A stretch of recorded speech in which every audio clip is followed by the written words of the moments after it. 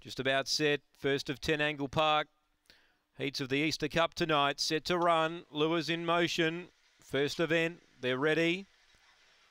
And away, Call Me Billy missed it. Speed from Horror Show's going to burn them off and lead. Springvale Vixen got a lovely run through, and she's on the prow early. A length away, third, Call Me Billy. Two lengths away to our boy Tomo. A gap then to uh, Fabs Go, or Fabs You Go. Uh, passing Springvale, Georgia. Last is Zoological, but down the back, Springvale Vixen takes over, draws clear.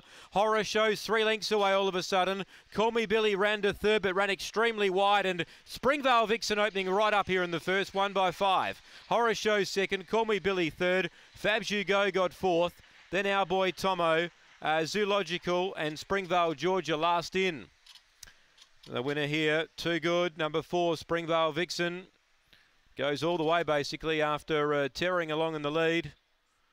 So we get a lovely run through on the inside down the back and drew clear for a comfortable win. Springvale Vixen, Gavin Harris. Number four defeats three, Horror Show who led them up early. But down the back, when you saw Springvale Vixen was hot in pursuit, you knew that she was going to be very hard to hold out. Five gets third, Call Me Billy, and one gets fourth, Fabs You Go.